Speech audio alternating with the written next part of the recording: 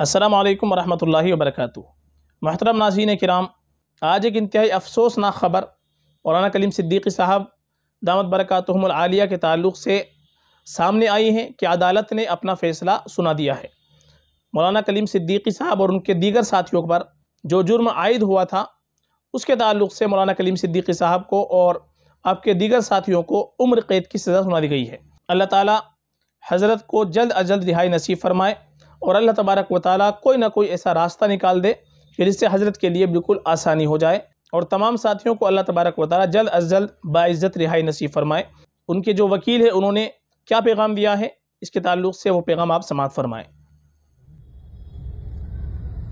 आज 11 सितंबर 2024 को उत्तर प्रदेश की एटीएस कोर्ट में हज़रत मौलाना कलीम सिद्दीकी, उमर गौतम, सरफराज अली जाफरी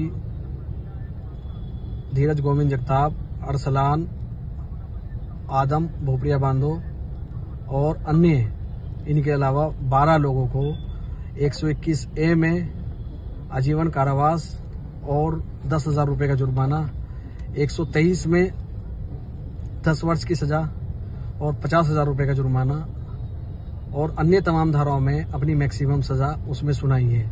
इसके अलावा जो चार लोग थे, जिन पे 121 और 123 नहीं था, उन तमाम लोगों को भी जज साहब ने उत्तर प्रदेश विधि विरुद्ध धर्म संपरिवर्तन प्रतिषेध अधिनियम, यानी धर्म धर्मांतरण का जो कानून है, उसके सेक्शन, उसके जो सेक्शन पाँच है, उसमें मैक्सिमम सजा देते हुए दस वर्ष की सजा सुनाई है। इस फैसले के खिलाफ हम लोगों के पास अभी हाईकोर्ट का मौका है और हमें तमाम अदालतों से पूरी पूरी उम्मीद है कि इन अज़ीज़ हमारे साथ इंसाफ होगा। ये एक पूरा मुकदमा जो प्रिजम्पन पे कायम हुआ था, इसमें हम तमाम वकीलों ने बहुत मेहनत और जामफिशानी के साथ 16 के 16 जितने मुलजिमान हैं, उन तमाम के वकीलों ने बहुत मेहनत के साथ इसमें अपना हंड्रेड परसेंट दिया है। लेकिन जज साहब की तरफ़ से जो फैसला दिया गया है, वो हम लोगों के लिए निराशाजनक है।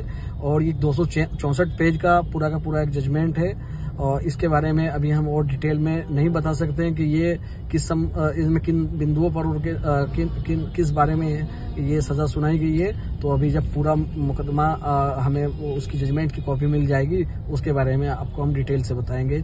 मेरे इसी पैगाम को आप ये, ये समझिए कि ये, ये ये एक ऑफिशियल पैगाम है। इसके अलावा बर करम फ़ोन पर रबता करने की कोशिश न करें। शुक्रिया।